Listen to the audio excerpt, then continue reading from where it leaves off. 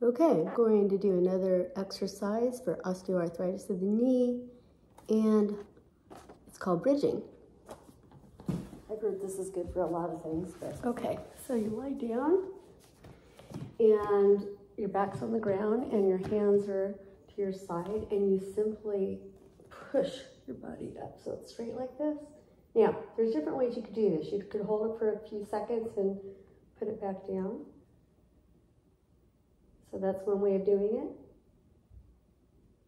When I went to PT, they said just to hold it for a long time. So it's up to you. I'm going to try to hold it. One, two, three, four, five, six, seven, eight, nine, ten, eleven, twelve, thirteen, fourteen, fifteen, sixteen. 17, 18, 19, 20. So it's up to you if you want to just keep holding or if you want to go down and then bridge up again. So I think it's good to do this for a minute either on its own.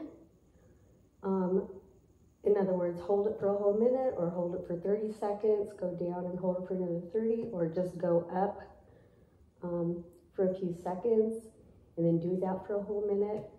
Um, and then do this more than once during the day. So that would be the whole thing, either a minute holding it the whole time like I am, or going up for a few seconds or 10 seconds at a time, but doing that sequence for at least a minute.